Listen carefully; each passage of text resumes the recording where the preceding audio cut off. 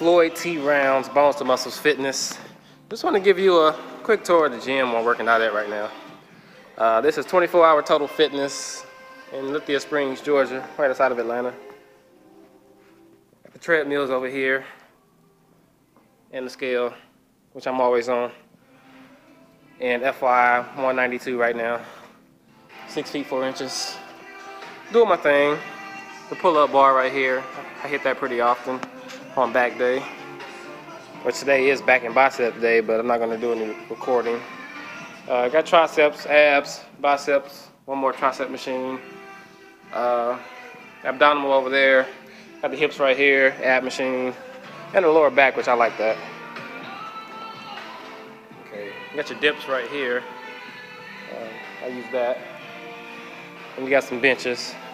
I like the old school feel. Kind of has like that old Metroflex kind of feel. You know, I've been at the bigger gyms and the bigger ones are cool, but you know, I, I like this. I have it to myself. I can grunt, yell, do all of that, all of that stuff. So I'm gonna like it, man. You got your dumbbells over here, which I'm gonna get on soon because I need to do some dumbbell rolls for the back.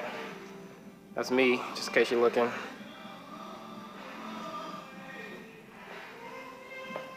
This incline dumbbells. I like doing the incline presses. You got your shoulders over here, um, squat machines. I don't really fool with that. I just do the leg presses just because of my back. Um, I don't really necessarily have a weak back when I'm scared it may be weak. So, you know, I just stick with the leg presses. Uh, and this is the Smith machine. I do use this from time to time. Got T-bar rows over here. I just got off off this white machine. It's pretty cool. Uh, got your isometric chest presses right here. I hit those yesterday. Uh, leg press. And um, leg extensions. And um, leg curls. Did that.